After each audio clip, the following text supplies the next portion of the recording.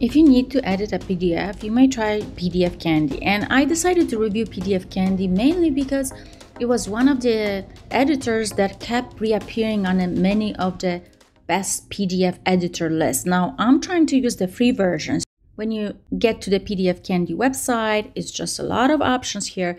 But to me, the PDF Candy was mainly a converter. You can convert, there's a lot of options to convert your PDF to some other file format or convert the other file format to PDF. And also, there was just so many options, and it was kind of hard to find what I want.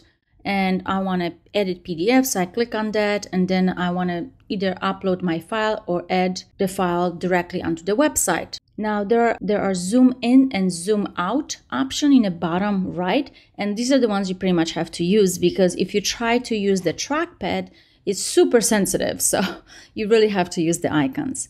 Now all the editing tools on the left, and let's start with the first one, the hand tool. So I thought, okay, I can just move my pages up and down, but actually I couldn't do it unless you zoomed in. So you have to be zoomed in. So then you can use the hand to move it up and down, which is like, okay, fine. And you have a highlight. The highlight you selected, and then you can try to select the text, and it was not working really. You could double click on a word to highlight it.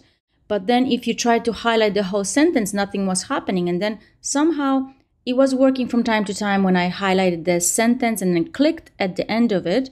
And then he would highlight it some parts of it and sometimes it would highlight the whole sentence and then double highlight part of the sentence. So it was very jumpy and inconsistent. Now you could also use that maybe as a whiteout or redaction by checking to either white or black however be careful because really all you're doing is covering the text so it's not meant for sensitive information and someone could use an editor to see what's underneath. Now you can also use the pencil to kind of like underline, circle things, annotate anything in your PDF. And then once this is selected, you can also delete parts of it. So that's great. Like if you make a mistake or you want to change your mind. The same thing with rectangle. It's pretty straightforward. You can annotate things, change the stroke color or fill color. But these are just basic colors. There's no option to customize any of the colors in the tool. And then when I clicked on the eraser, I thought it was eraser, but this is a whiteout, which is basically you cover it with white box. So, but you can change it to black if you wanted to use it more of a redaction.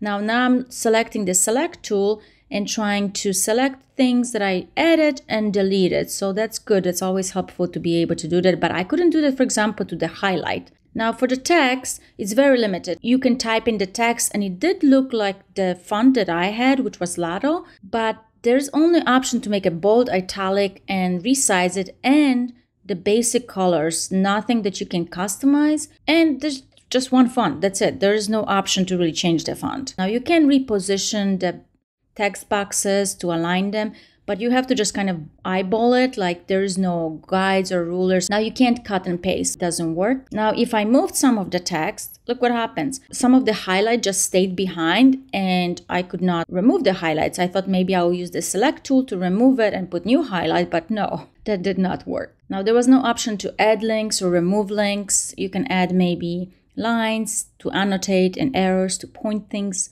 in your PDF. You can add images, just find your file and then you position it in a PDF. You can resize it and reposition, but you cannot rotate it, you cannot change opacity or layer things. And I was not able to remove the image that I previously had in my original PDF. Now you can add signature by clicking new signature and you can use your trackpad to sign.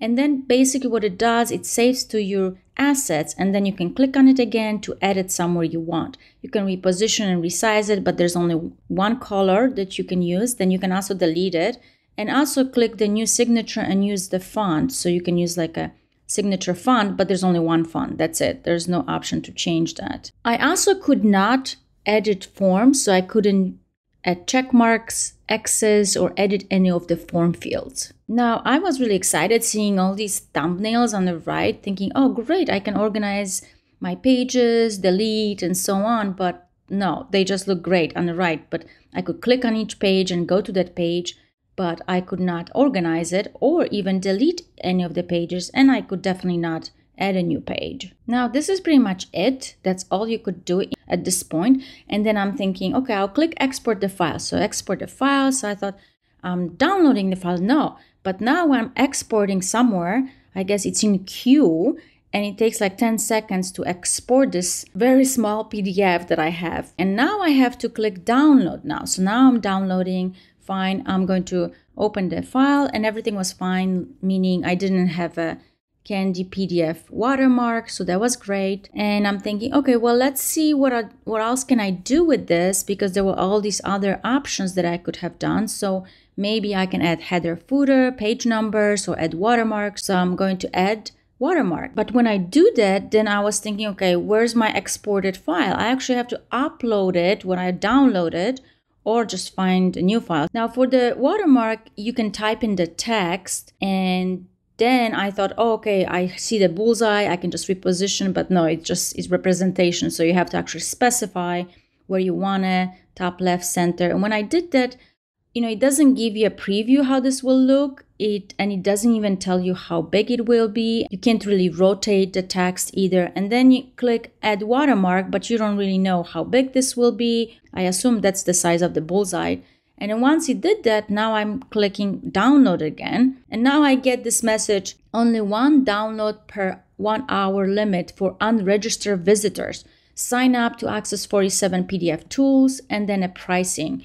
And I'm like, okay, fine. So maybe I'm not registered. So let me try to register because, you know, some tools require you to create an account. So fine, I'll just do that. I will register for an account so I can add my watermark. So I'm trying to sign up. It keeps bringing me up to the plan to pay for it. The registration really means registering, signing up, and paying. I mean, the, the prices are really reasonable. I mean, I would definitely pay six, $6 a month if I was able to do everything that I needed using this editor, but I was not able to do even some of the limited options. It kept prompting me to pay first, so I decided not to. But I figured, okay, let me try to test the other options that they, it had, maybe adding header and footers or page numbers. So let's try to add header and footer and see what happens.